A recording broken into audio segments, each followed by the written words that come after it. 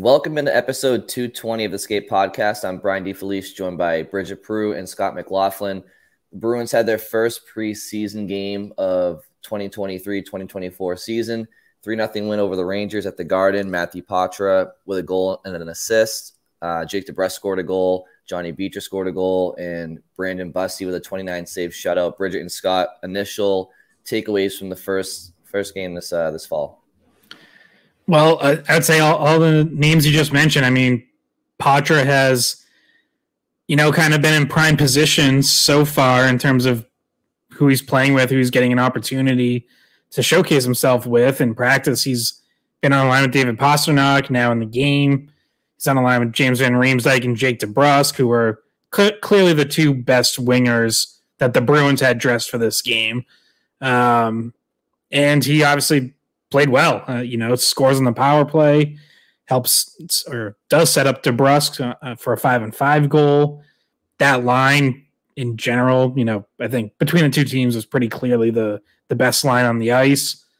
Um, Beecher is, you, you know, we'll obviously get more into Poitras and like his chances of making the team, but he has said he wants to, and you know, this is good.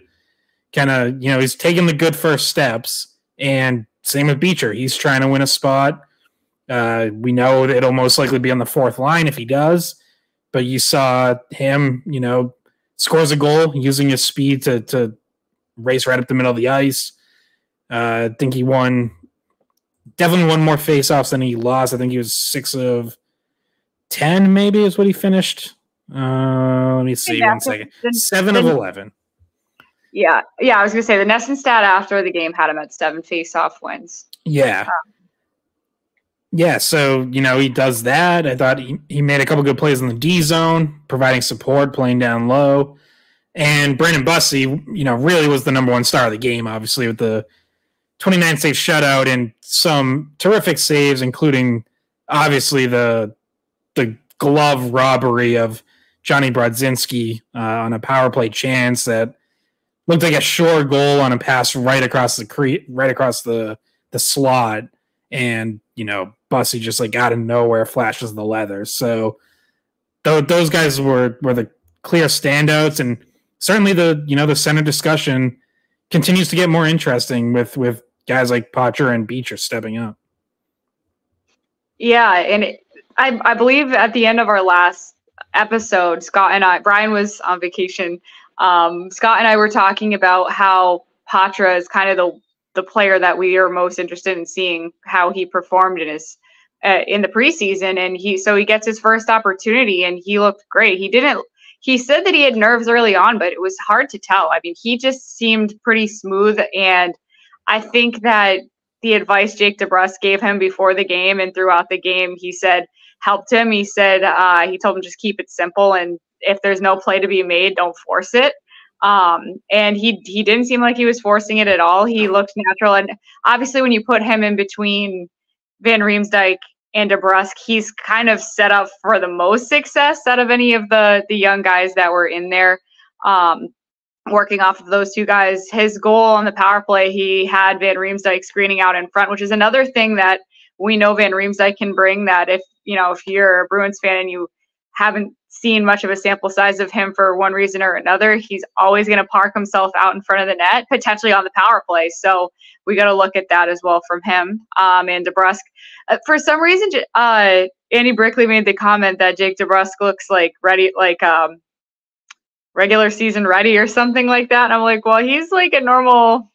He's just he's an everyday player. He should he should look ready for the regular season. Obviously, um, it was some of the younger guys that we weren't sure what they were going to look like. And I thought that uh, Poitras looked very good. Uh, Lysell at times was a bit quiet, um, and he's somebody else that we can get into. Um, but the big standouts in terms of positive standouts were uh, definitely Bussi, Poitras, and Beecher. Yeah, so I I think I want to start with with Bussi just because and there's plenty of good to get to regarding Poitras as well and Beach, as you mentioned. Definitely Lysell. Uh, wanted to see more out of him in this performance. Uh, obviously, preseason is, you know, there's more games to go, but it, it's a bit of a sprint, right, to make an impression. And, but for I'll just I'll just say this and I'll throw it back to you guys. But and I know it was one performance, but we know that that Bussi's a a very very strong prospect going into tonight's game. If the Bruins and I know goaltending is a strength of their team, but if if they are in a situation where they can move a goaltender at some point this year or next, whenever it is, right? I have, I think I've seen what I need to know that I think Bussi could step in and be one of two NHL caliber goaltenders on this team. And I just think that, you know, yes, it was a preseason game. Yes, it was not against a full Rangers lineup, but he's a very, very strong goaltender. You can just tell the saves he made tonight were outstanding. He has a presence in the crease. He's he's got good size. And we watched last year with Vegas, like, you know, goaltending is the most important position in hockey, but you can find them more frequently than you can find other positions. And if the Bruins find themselves with a with a with a chance to maybe move one of their goaltenders at some point to benefit the roster elsewhere, all I'm saying is I think I have confidence, even after just one preseason performance, that I think this kid might be the real deal. And when I say real deal, and I think he could be a solid NHL contributor and potentially number one at some point.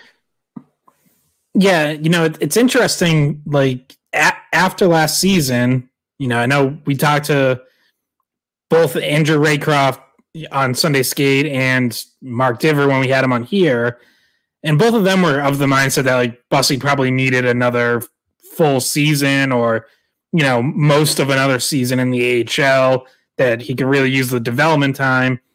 And, you know, my feeling, it, look, Mark Divver obviously saw a lot more of him last year than I did. He sees almost every Providence game. But, like, I looked at and I was like, the way he kind of just ran with that job in Providence, I know they kept splitting time. Like, Keyser and, and even Michael DiPietro still played. Um, but, you know, remember, like, Bussi initially – was potentially the goalie who was going to go down to the ECHL. I think he even played a couple ECHL games early in the season. Quickly gets promoted and ends up being one of the best goalies in the AHL. Uh, 924 save percentage, which was third in the whole AHL, first among rookies. And it's like, I think I am more, Brian, I'm probably with you more along the lines of like, I don't mind just throwing guys in. Like, you know, I think if they're close, you can let them learn like the rest of what they need to learn at the NHL level. And whereas I think Razor and, and, and Divver, while, you know, obviously very smart people who I respect a ton, I do think both of them tend to be more of like they want kids to be almost overcooked before they turn pro. Like like they would they would err on the side of too much development time rather than not enough. And I get that, like there's validity to that, but yeah, I mean, it's hard for me to like see what Bussi really needs to work on, especially for like another whole season. Um, it's not a bad thing for him to have another year in the HL, and obviously, if Ullmark and Swayman stay put and remain healthy, and the Bruins don't trade one of them away, then he, that's what he's going to get. He's going to get another full season in the AHL, and that may be just fine. But yeah, I'm kind of with you. Like if if if something was there, then I wouldn't, you know. And all of a sudden, you're going with Swayman and Bussi or Ullmark and Bussi. I wouldn't at all look at that and be like, "Oh wow, goaltending just became a big question mark." I'd be like, "Nah, I, I kind of think Bussi's probably ready and we'll and we'll be just fine." Yeah, that one save on Brodzinski was crazy, but he had made a lot of saves before that that were nice. He had a little bit of puck luck too, a few posts, and then that one time that uh, Regula took it off the line, it hit hit the crossbar, came down, and went onto the goal line, and then it was cleared out by Regula. So um, he mentioned that there was a little bit of puck luck, but there's no denying that he seemed very confident out there, but he was kind of hard on himself in the post game. He was like, "Oh, I could have controlled rebounds better." I think that I mean that's kind of just what goalies do sometimes, but he seemed a little bit nervous in the interview because uh, you know you're on TV for maybe the first time ever. I don't know. He seemed like a he seemed like a nice kid. Um, he went to Western Michigan, was a goalie there for I think three years. I'm not maybe four, but um, yeah, I, and, I think three. Yeah, I don't think he yeah, played all four. I don't think so either. I think it was three years. And um, and so after the game, also Beecher was asked about him because he was in Providence last year, and they were both there, and everybody was saying how oh, this isn't the first time we've seen him make a save like that. And, you know, this is a nice, he's a nice guy. He's, you know, we trust him back there. And Montgomery said that, you know, if he doesn't, if he doesn't put up that performance, we're on the wrong side of the score most likely. And he called him the best player on the ice. So um, obviously, when you're someone, uh, you know, that that's never played an NHL game or you're trying to crack the NHL roster, um, you want to put up a performance that is uh, grabs attention, and now the buzz is is going to be about him. The unfortunate part for him is he's not on a team that there's an open spot at goalie, even as the backup. So as of right now, so he he kind of stole the show, stole the spotlight, and in the post game they gave uh, on and they gave Poitras the uh, player of the game, and, and Raycroft was like, "What the hell? No goalie love." uh, so uh, I do think that, and even Pasta on his Instagram put up the save and and like did the like the mind blown emoji and everybody was everybody was really enjoying his performance. He did a great job.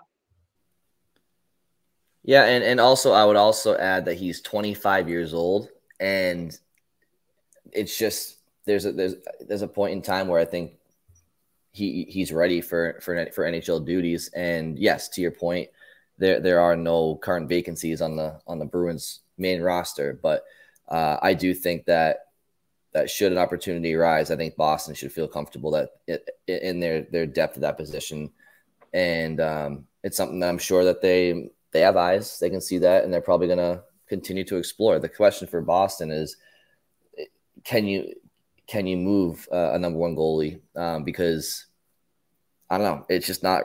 It's, it's it's probably a tough trade opportunity because because you're probably trading a number one goalie in return for you're ideally a center, right? And teams don't just want to give that up. And so it's tough to find a dance partner, is my point. Um, but if they do, then I think they got, they may have something there.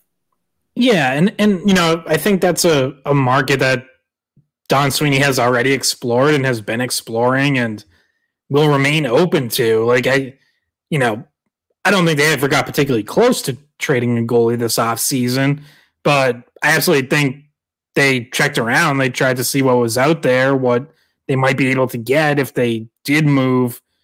You know, most likely Ullmark, but possibly even Swayman.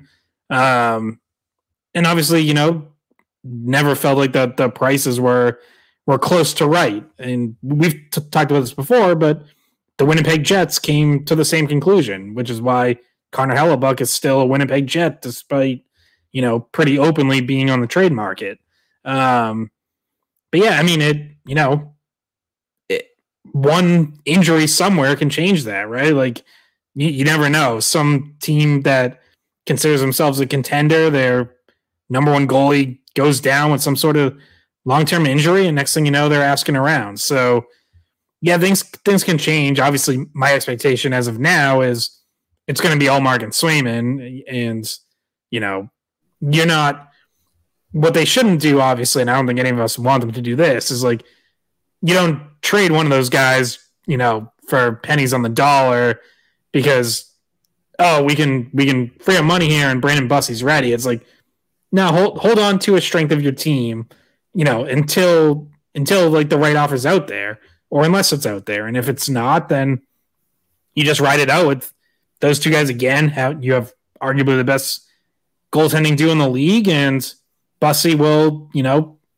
excel in Providence again, you hope. So, um, but yeah, you know, I'm sure, I'm sure more performances like this and like a strong start down in Providence for Bussi would, you know, would make Sweeney feel pretty good about, hey, continuing to just poke around and every now and then see what's out there. And, and it, it goes beyond Bussi too. Like I know like we haven't seen them in a game yet, but Michael DiPietro has really stood out at training camp to me. I think he's made some some great saves, especially battling down, you know, in close, um, you know, drills where there's a lot of traffic around the net. Um, you know, Kyle Keyser's had some pretty good seasons in the minors, so uh, there's there is a lot of depth at goaltending just in general throughout the organization. Did you notice they they put a picture of Swayman up when they showed uh, Bussi's stats at one point. It was like it said Brendan Bussi, and it had like I think it was in the third period, and but the little face, like the little square that has like the player, and it was just Jeremy Swayman's face, and I was dying laughing. And then by the end of the game, they fixed it and they just put a Bruins logo because apparently they do not have a headshot. They do not have a headshot of him on file. And I was like, that looks like Swayman. Oh wait, that is Swayman. That's it's not his twin brother. They're not twins. Um, but yeah, it was kind of funny. So I think a lot of people just tonight are learning who Brendan Bussi is. Uh, and you know the criticism. We know we have a lot of goalie critics in Boston. And you know, as soon as somebody starts playing bad, we're going to be getting phone calls. Get that kid Brendan Bussi up here. Get get Bussi to Boston. Trade, you know, whoever it is that's slumping if, if that happens during the season. So we're definitely going to hear that. Um, did you guys want to move on to uh, this? Is something that was kind of less of a storyline, I guess you could say, but um, because we didn't have a lot of the regulars in on defense, Zboril got a chance though. He's someone we wanted to keep an eye on. And then there was uh, Callahan was also in and, and uh, had some stretches where he did a really good job on the breakout. He also had one kind of glaring mistake that I noticed with Vesey getting in behind him and getting a chance um, on Bussi kind of point blank. But um, thoughts on defense in this game? Obviously, it's a shutout. Um, what do you think of the defense? Yeah, well, worth noting right at the top, like Zboril also left with an injury um, in like midway through the second period. Kind of took an awkward hit in the corner that I don't think he really saw coming, and was a little hobbled. I thought it was a lower body because he was. It looked like he was like skating gingerly, but uh, Montgomery said after the game that it was a hit up high, which you know could be any number of things. Obviously, concussion comes to mind, but we don't know that. Like they didn't say that. So um, Montgomery termed it precautionary. Same with Patrick Brown. Um, you know, new center signing. He was actually playing on wing this game, but he he blocked a shot in the first period. Was clearly in pain, and then he didn't return to the game. Um, so you know, we'll see if there's any further updates on those guys uh, in the next few days. But yeah, the rest of the defense, I thought other, you're right. Callahan did get have Vesey blow by him on that one play. Other than that, I, I thought Mike Callahan was their best defenseman in this game. I thought he was really solid for 98% of the night. Um, just good. Can we, get a, can we get a PC plug in here somewhere? Yeah. Yeah. Providence College's own. Um, mm-hmm. Yeah. I mean, he was, he was good defending. I thought he looked calm with the puck on a stick. There a couple times he, you know, he's not as agile as like Matt Grzelcyk, but there are a couple times that he kind of spun away from pressure in a way that reminded me of like the way that Grzelcyk does that, um, and gave himself some space to start the breakouts. So that was good to see. Um, yeah, I thought Riley Walsh was partnered with him most of the game. I thought he looked pretty good, but you know, for the most part, this was a D corps that we're not expecting any of those guys to really make a strong push. Um, certainly for regular playing time, maybe for a seventh or eighth D spot. But yeah, that I thought Mike Allen was good, and you know, um, Ryan Mougenel, Providence's coach, has been uh, was talking him up at the Prospects Challenge, saying he basically had grown out of that tournament and he thought he was ready to to make a push for the NHL. And you know, if not, he he was going to be relying on him as a leader down Providence this year. So, um, you know, clearly someone who's uh, you know I think doing a good job improving his stock. Yeah, I, I would echo what Scott said. In the in the essence of of timing here, I'd probably just um, because as he mentioned, like none of these defensemen are really um, anything more than just organizational depth. I was more so focused on some of the players up front. Um, and, so, as, as, you mentioned off the top, Bridgette, like um, Matthew Poitras and, and Scott, you mentioned him as well. You know, it's interesting because you said that the when we're talking about Bussi, there's no room for goaltenders on the NHL roster as it currently stands. Center ice is a different is a different story. Like, yes, the Bruins signed Morgan Geekie and and and Boqvist and Patrick Brown in the offseason. Um, but you know, you lost Bergeron, Krejci, and Nosek, so you lost three of your top four centers from last season, and I don't think anybody in that dressing room thinks that they have a spot locked up, and if they sign somebody to be a center and somebody pushes them out of that position, maybe they go to the wing. So I, I, I just wanted to you know talk about Poitras because I think it was my first time seeing him in you know this year in game action. I didn't get a chance to watch any of the rookie uh, games in Buffalo, wherever it was, but I mean, you, you you see everything everybody talks about. You see the hockey IQ, uh, you see the tenacity, his his willingness to go wherever it takes. Uh, he's creative. He has vision, patience, and so he's he's he's a good player. Like he he finds himself around the puck all the time. He knows where it's going, and he makes those plays. Even if it's like a there was one play where it was just a simple loose puck in the neutral zone, and he just you know outreached his opponent and nudged it past uh, the defenseman, and I think DeBrusk went in on the left side, and it's just little things that that add up that not everybody on the ice can can do. And so, look, obviously Zacha and Coyle are going to be your top two centers to start the year but I don't think Morgan Geekie has 3C locked up, and I don't think Patrick Brown at all has 4C locked up. So, I mean, is there a world where Beecher's your 4C at some point and maybe Poitras is a is a 3C? I don't know. And there's there's a lot of time to go, but I I know that it's it's NHL or juniors for him, right? So it's kind of a tough predicament, but he looked I mean, he, looked really good with DeBrusk and Van Riemsdyk, who by the way, Van Riemsdyk was I know he I know he was playing a lot of unproven players, but he could still move out there. And I was impressed by how he looked out there today. So, um, yeah, how do you guys how do you guys think about Poitras's chances if he continues to to play the, this well this preseason? Do the Bruins find a way to keep him on the roster to start the year? Well, let's just put it this way: of the four centers that played tonight, he was the best one, and Morgan Geekie was one of those centers that played.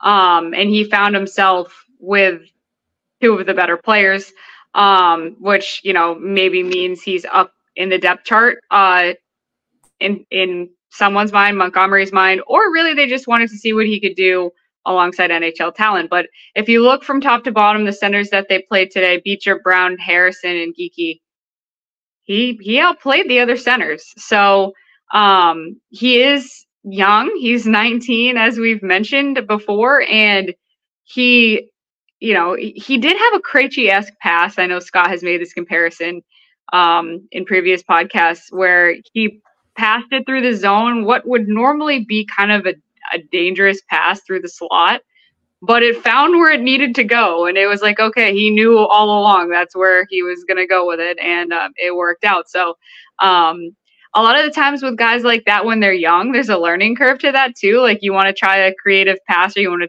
try one of those like through the slot, like through the center of the zone passes, and sometimes it gets picked off and you look stupid. But he didn't have any of those rookie like moments. So it's not only did he score and, and get an, an assist, he also just didn't make those mistakes. If and the I guess the one thing to look for would be like defensively did did he have any issues i didn't notice any glaring defensive issues for him and he was good at he was good at defensive zone faceoffs. So you know that that helps out a lot.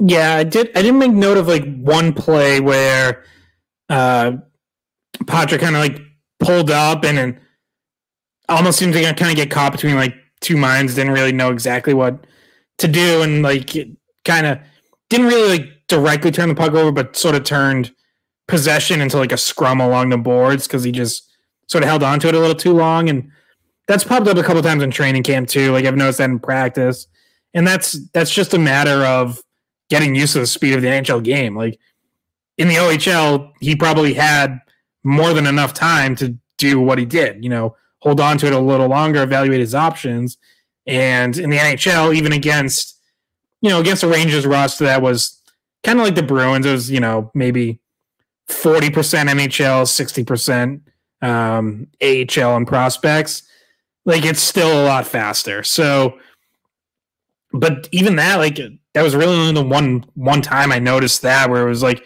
oh, I, I think the game sped up on him a little. Other than that, he he did look really poised and he seemed to have very good spatial awareness and and you know not not get himself trapped and not hold on to pucks too long. So, um, yeah, it's really encouraging to see and you guys are right. Like, no one should really feel locked in. I thought it, Jim Montgomery made an interesting comment after the game. He was asked to evaluate all four centers, basically. And on Morgan Geekie, he said said something along the lines of like I, I thought that that line sort of picked their spots to like to really play. And he was like, you know, sometimes veterans do that in preseason. It's just it's just part of you know them building their game. And I was like, well, it, on the one hand, yes, that's true. Like you know, people who have been around the NHL, veterans tend to not bring it 110% their first preseason game. On the other hand, I'm like, I don't know that Morgan Geekie should really be that comfortable. Like he, I kind of feel like he does have to bring it, it, especially if he wants to win third line center. Because Brian, I agree. Like that, I don't think he's locked into that. I think he's the clear favorite to win that job, but he still has to win it. It's still not going to be handed to him. And yeah, like if if Poitras continues to impress and that's a spot he ends up winning, I mean, Geekie could get bumped over to the wing. He could get bumped down to the fourth line. Um, you know, I absolutely think there's a chance that Poitras could take that from him. It's, you know, I still think Poitras has a lot more work to do. Like he's clearly the one, you know, sort of fighting the uphill battle and, you know, kind of coming from from the outside. And Montgomery even said that he was like, you know, it's still five more preseason games, two more weeks of training camp, and and one thing Montgomery has made clear, he's like, it's going to be the guys who are playing the best at the end of training camp, the guys who have gotten better, you know, from start of training camp to the end, who tend to make the team. So Poitras has to keep it up. He has to keep going. He has to get even better. Um, but if he does, then he absolutely has to be part of the conversation. It's you know I, I still would have him on the outside looking in. Like I still think it's it's a lot to ask for you know a 19 year old kid who hasn't played a second of pro. Well, you know hasn't really played pro hockey to to make the Bruins out of camp. But um, you know more performances like Sunday will certainly make an interesting conversation. Yeah, and one of the quotes Montgomery had about him, he's uh, Brick asked him after the game, you know, what he saw from him and like what his chances are making the team. And he says he, he needs to show us he can play consistently and handle the the grind and physicality as a 19 year old.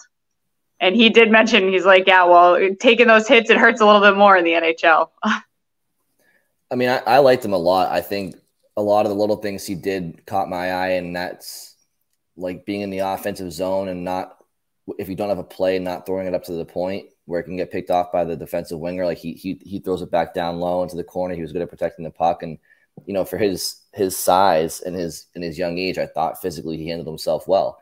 Um, in a situation where the Bruins are not going into a season with a full NHL roster, all jobs locked up and there's spots up for grabs, my concern is that you're going to have a, if he continues to play standout hockey like this leading up to the regular season, that's the kind of the the asterisk with what I'm about to say. But if if he continues to have a strong camp, I'm concerned that like you're gonna because it's juniors or or NHL for him, he can't go to Providence, and you guys can explain to me why that is in a minute. But um, he had like 95 points, 96 points in 60 something games last year in juniors. So it's like, what's he gonna do? Go down this year and get like 110?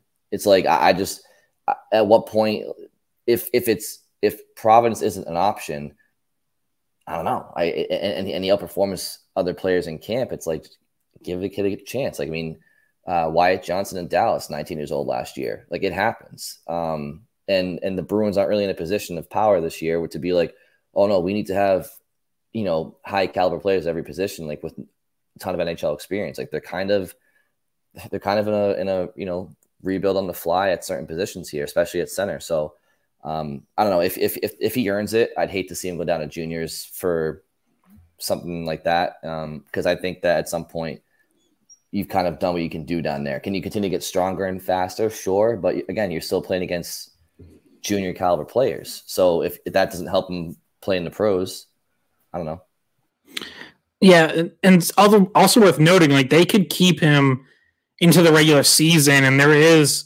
I meant meant to try to look up the exact uh, ruling. I don't know if it's eight, nine, ten games whatever that you can play in the NHL, and then the team has to decide either you're staying the rest of the season or you go back to the OHL. So, um, you know, the Bruins could if he's close enough, give him some regular season action and and then decide. So that's also an option. But again, he's got to he has to get through training camp and keep building his game and keep playing like this, keep impressing. And you know, that's that's still a couple more weeks before before we get there. All right, who who says no? Who says no? Uh, Van Riemsdyk, Poitras, DeBrusk line. The exact line was today in the regular season. Who says no? Keep Charlie Coyle with Trent Frederic. I I would say no, just because I think. Whoops! I just uh, I just kicked my table. So, um, that's all right. I've been having technical difficulties this whole time. if you if you're watching, you know you probably noticed me like fidgeting with a million things because all of my technology is broken and my phone is overheating and my laptop is broken. So yeah, Brid- Bridgette's Bridgette's in the middle of like a two week war with technology.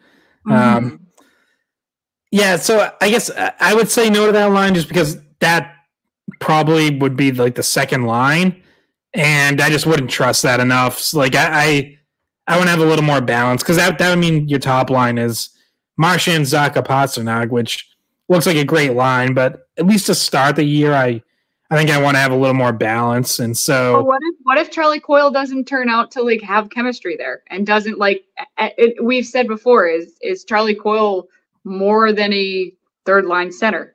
They've tried him higher in the lineup before and it hasn't worked. What if it's you know what if we find that something stagnant there and we uh, you know and the Bruins want to put Charlie Coyle back with Trent Frederic, if they want to put him back in a third line role. I, I know it's crazy. This kid's 19. Yeah. I mean, I, I, think whether, whether, it's Coyle or Poitras, because I'm, I can't possibly be totally sold on either one of them as a number two center.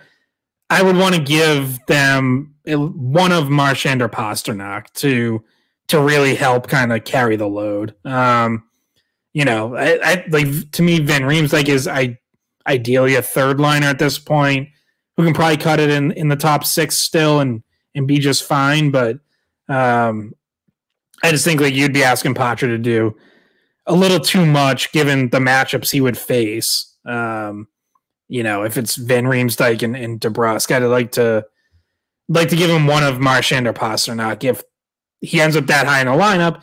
The other option is, you know, if Coyle does work just fine as a second line center, you know, we've we're expecting maybe a Marchand, Coyle, DeBrusk line. Like that could work and be just fine. And then you could potentially have a third line of maybe Frederic, Poitras, Geekie. Like I think that could potentially work, or you know maybe Jakub Lauko fights his way up or something. But yeah, there's there's a few different options, and um, you know, just if, if you're the Bruins, like it would be very exciting if Poitras does force his way into any of those roles. Um, that would be a great sign. Another player we'll be watching to see if they can force the issue is is Georgi Merkulov. Now he didn't play tonight, but he's another guy highly skilled forward, um, yet to make an you know, have an NHL job, and so he'll be he'll be somebody to watch as well. I, I imagine their next preseason game. Um, another player who should be making a, a name for themselves this camp would be Fabian Lysell. And after one preseason game, and again, I get it, it's one game, but preseason is a sprint. And I think he had three shots on goal. And, you know, he wasn't really, his speed is evident. Okay. His speed is there. Obviously, his skating ability is there. I think he was, he was, uh, he, he was skating hard to get back on, back on defense. Um, so you, you could tell that he knew that he, the importance of playing well tonight. But, uh, and that's you know those things are good to see but i think when you're supposed to be an offensive player you kind of have to show a little bit more of uh, assertiveness and, and, dominance in a game like this against you know a, a lot of non-nhlers on the other side so um, scott you were there in person to kind of see it from a bird's eye view bridgette you i know you were producing the red sox tonight but um, so I don't know if you had a chance to watch the whole game, but just your guys' initial takes on, the Red Sox. Let's just not talk about the Red Sox, okay? All right. It's almost over, Bridgette. What, they, one, one more week. They ruined my entire day today. So they went to the seventh inning, rain delayed for two hours, and fully knowing they were going to cancel that game. And that just made me had to work longer. Then I came home, watched the Bruins. Been working since 9 a.m. We're recording this. It's almost 11 p.m. So, Brian, thanks for mentioning the Red Sox. I did watch the whole game. I did watch the whole game. Okay. Anyways, what do you think of Fabian Lysell? Me? Yeah, you can go Um, first. I, I mean, it was an it was an underwhelming performance. Yeah. Um, probably would be the and, and like when other guys are jarring the attention, jarring the eyes of coaches, you know, fans, he wasn't, and he's somebody that has the skill set to do that, but he he just I don't know if it was just a bad line combination for him. Um, he he ended up with playing with Frederic a little, I believe. Um, and geekie, but he he just kind of got like lost in the shuffle. It kind of felt like, um, and he had a decent uh preseason last year, so we'll see. He'll obviously he'll get a few more chances to showcase himself, but it was underwhelming, and maybe he needs to be put out there with some of the higher caliber players to kind of showcase himself. But you you're you're not in a position to to say, oh well, next time I'll do it. Like you only have a limited amount of chances that you can really prove yourself. And and in terms of the stories, and unfortunately for him being as highly touted a prospect as he is, you're the bar is higher for him. So when he misses it, we talk about it. Yeah, I mean, he started the game on a line with Jayson Megna and Brett Harrison, which, um, you know, now Harrison is certainly someone he could, if he's in Providence, he could potentially play with. Um, you know, Harrison's a player that Bruins are pretty high on, but that's obviously that's a different spot than you know Poitras getting to play with two proven top six forwards. Like, so yeah, I cut him a little slack. Like he's, you know, if Lysell makes it to the NHL, he's probably not playing with a player like Jayson Megna, who's been, you know, a fringe fourth liner up up and down between the NHL and AHL his whole career. Um, but then when when Patrick Brown went down, the right wings did start shuffling and rotating through different lines, and obviously he is a right wing. So yeah, he played a little bit with everyone. Um, yeah, like I noticed him. I noticed him making some good plays, either away from the puck or pursuing the puck. But Fabian Lysell is a player you want to see him making plays with the puck, and I, I just didn't feel like he had. I didn't feel like he had a ton of possession or really, you know, a ton of chances to do anything. And maybe again, maybe that's a product of his line. I do think they got pinned in their own zone a little bit. Um, you know, Joe Montgomery after the game did say he, he thinks Lysell played his best in the third period, so that's a good sign. Like, you know, at least he didn't get worn down over the course of the game or whatever. Like, you know, at least in Montgomery's eyes, he finished strong. But yeah, Well, you but he definitely, you definitely want to see a little more.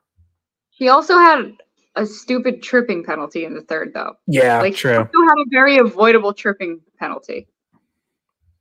And the Bruins ended up having to kill five uh five penalties. So Yeah, I think you you made a good point where you say um, he was making a lot of good plays uh, away from the puck, but you want to see him making plays with the puck, and uh, again, especially against the um, a, a non NHL Rangers lineup, and you know it's kind of one of those things where he, it's like the Tyler Seguin effect, where like you'll watch Sagan in Dallas a lot of times, like he's like he looks like he's forechecking a million miles an hour, but he's just not really doing really much of anything, um, and so it's just like yeah, I don't know. It's it's something that he's gonna. It's an uphill battle at this point. I mean, one game down, so um, he's gonna have to to, to showcase better and, and make things happen, put some points on the board, and, and say what you want about about Poitras and, and, and his chances. I mean, he you know he leaves the, the game and you know goal and assist and, and look good in the power play, look good five on five, and you know he made he made his name stick out. And Lysell really didn't, especially when all eyes are on him uh, up front. So. Um, a lot to be desired there after one preseason game, plenty more to go. Um, we're 40 minutes in here. Bridgette Scott, any final storylines to follow from the first preseason game? Um, just sort of uh, circling back to Beecher a little bit, the, the line that he started with, you know, before things started getting jumbled was with AJ Greer and Patrick Brown. And it was interesting and I think notable that, you know, it was Patrick Brown getting bumped over to the wing for Beecher to play center. Um, but that line was really physical and was really getting in on the forecheck. And it was, in addition to everything else Beecher did, it was good to see him throw, throw a couple hits too. Like that's, that's something where, you know, I think the scouting report on him was always he uses his size, you know, more just to kind of shield guys off and, you know, either protect pucks or just kind of outmuscle guys, but wasn't so much of like a checker. And I think he's added that to his game. And, and he, he talked about, you know, yeah, as he got, you know, through his first pro season, he got more comfortable with that um, down in Providence. And I thought you saw that tonight too. So like that's that's encouraging. Jim Montgomery made it clear day one of training camp. One of the things he said was he wants the Bruins to be to be more physical this year, especially uh, around both nets. He said that was a point of emphasis. So, um, you know, just a, another another good thing for Beecher to bring. AJ Greer was flying around like he always does, and he ends up getting in a fight late. Um, so sort of you know a, a class classic AJ Greer game. Uh, yeah, got got a shirt pulled over his face and took took a took a pretty good punch there. But uh, yeah, yeah, that was a loss. That was a big L. Yeah, big time L on that fight uh, for Greer. but my final point is actually uh, about Beecher as well, and I think he has the right mindset going into camp. I think he knows exactly his role that he needs to carve out for himself. I think he's has it clearly defined in his own head. And whenever he talks to the media, and I remember this about him last preseason as well, he I think he's a pretty smart guy. Like he the way he talks about what he needs to do, it's it's pretty spot on. And Scott, I believe you asked this question in the in the locker room post game uh, about for checking or checking.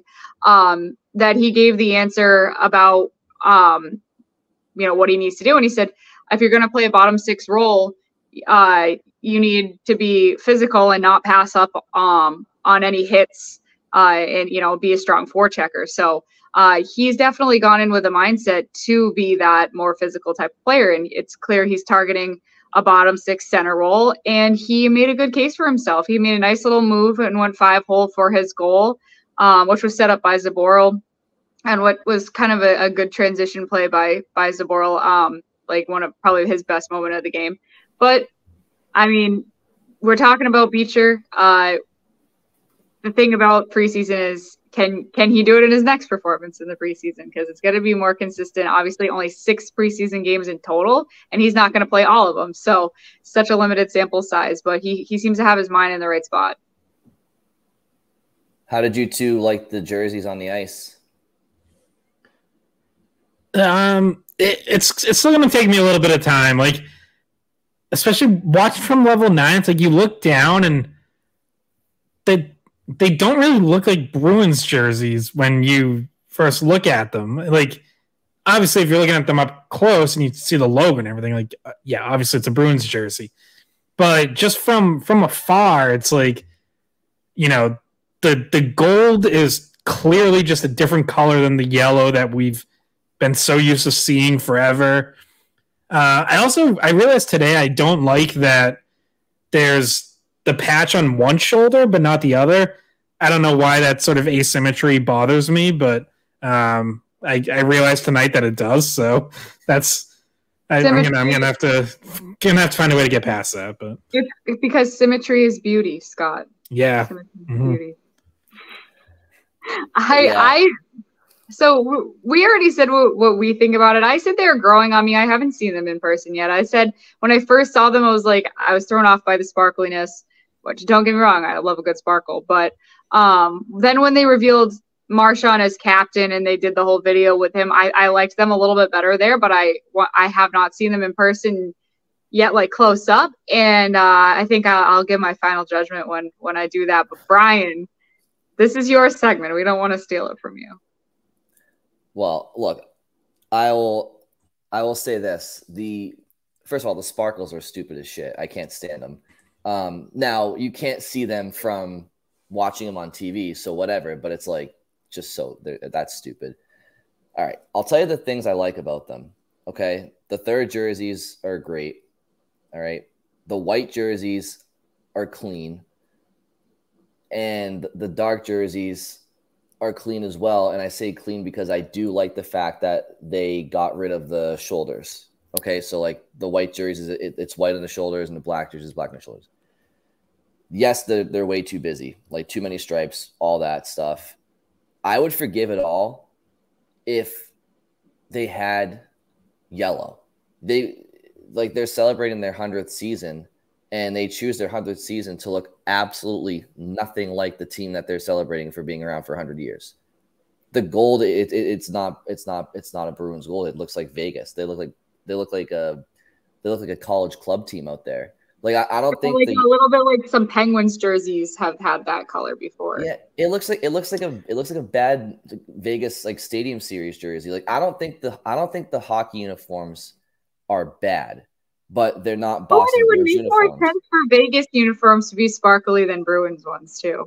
Well, that you know, little they gave, yeah, they, they, they sent their they they fired their coach. He went to Vegas, so the Bruins are looking for something other other Vegas magic to be good this year. But um, the, all, or t- tonight, actually, because of Bussi, I was thinking that like it's Western Michigan colors. I'm like, yeah. oh, maybe that's why he played so well. He just felt like he was back in college.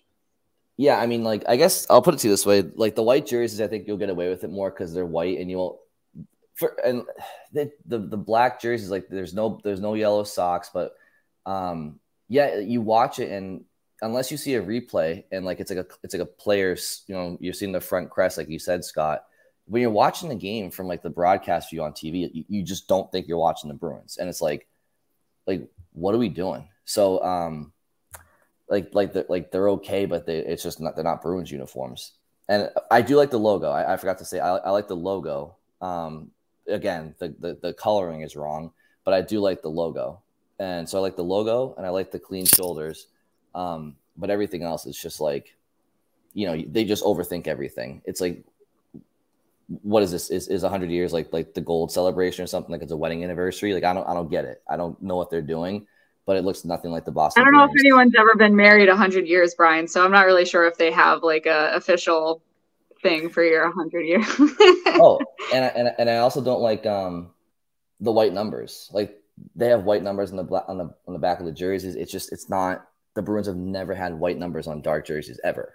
So um, look, whatever the jerseys, they're not terrible, but they're just it's just for a Boston Bruins setup. It's just not. It's just I don't feel like I'm watching the Bruins. So good, good, good for them. Say, like, they, they they mess it up again. Yeah, I'll say Swayman. If you saw Swayman's mask, and they did a little bit of a thing, like a closer look at it after the game, he has like his art like his artist that does his mask like kind of nailed it. I feel like nailed it more than the jersey designers did because his his artist painted his masks with those same logos um but in the gold color and like he, he had it all laid out nice with thumb stripes um you know. Anyway it, it, check it out if you haven't seen it. I feel like his graphic design like an artist get those people on it next time. They were good. Well, I just don't get it. It, it, it. This would be like this would be like the the Blackhawks or the Canadiens or the Red Wings, like for their hundredth year, just like changing their colors from like red to a dark maroon or brown. It's like you're changing your colors. Like, what are you what are you doing? Well, and and they nailed the logo on the ice, which prominently has the yellow. So it's like if they'd just done that, like if you just matched the two, would have been great. By the way, I had to look this up since uh, it came up, but the longest marriage ever, uh, 86 years, 290 days. Uh, what the hell were they when they got, was this like a weird, like they got married at 13 or something? I don't know. Uh, Herbert and Zelmira Fisher from the U.S. They were married 86 years before Herbert passed away in 2011. So where were they from? What, what state? I don't know. I haven't I haven't uh, read any more, but there's there's there's a little trivia to to end on. There we well, go. Well, hopefully this Jersey marriage for the Bruins gets annulled after one season. Well, it's, it, Uh, so Herbert Fisher was he was 106 when he passed away. So he was I don't know. I guess they were 1920. Yeah, that's not he was bad. 1920. Yeah, that's not crazy. And No, I will, as long I as will, she wasn't six- 14, that's fine. She I- she was two years younger.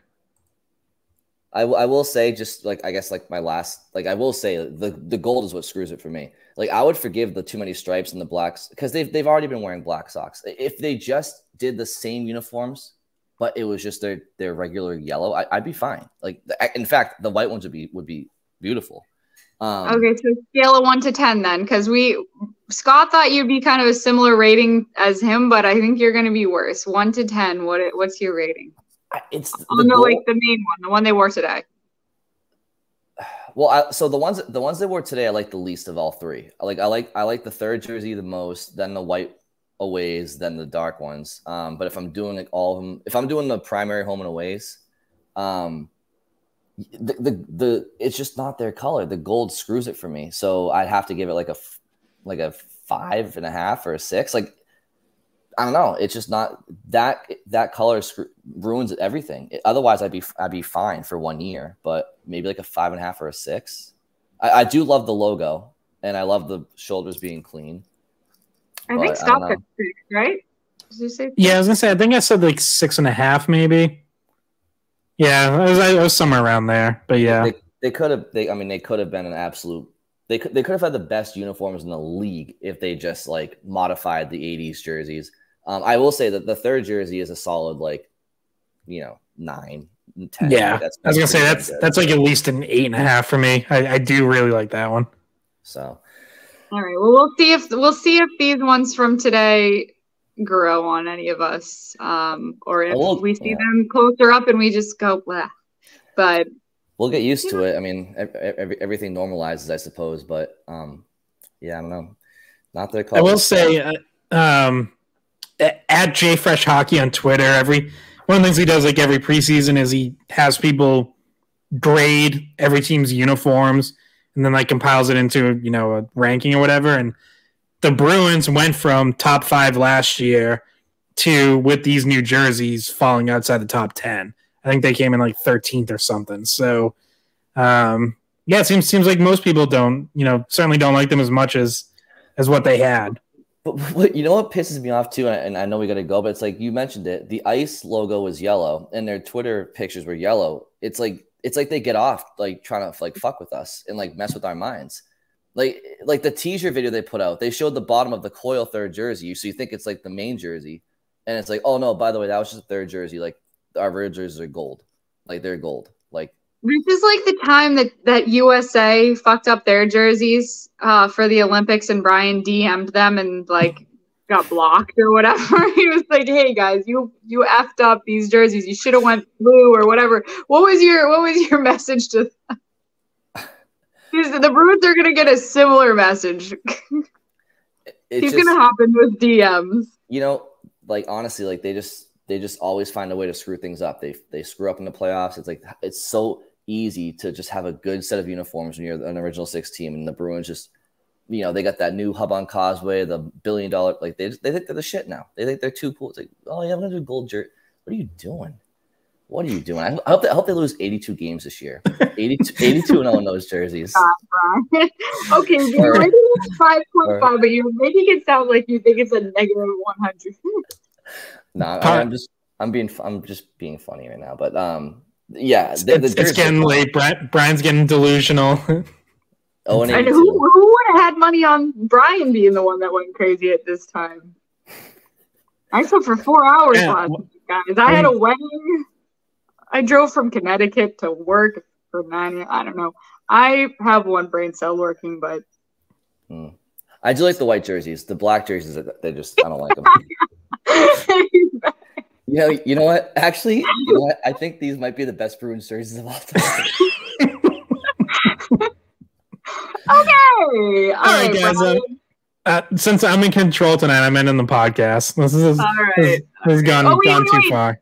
Wait, we have a Z- a Zacha episode posting. Uh, the episode after this one, Scott had a one-on-one with Pavel Zacha. Um, so we will have that up uh, a day after you see this one. So Yeah, uh, it should be like Tuesday morning, I think. So yeah, Then we got we got another preseason game Tuesday. We'll probably react to that. And then I think they're what back home Friday. So yeah, back back in the back in the swing of the game schedule. Mm-hmm. And and hopefully, well, luckily, only one week of crossover with Sox and and Bruins games. So I don't, I can't handle any more of this. This one right. day, this one horrible day.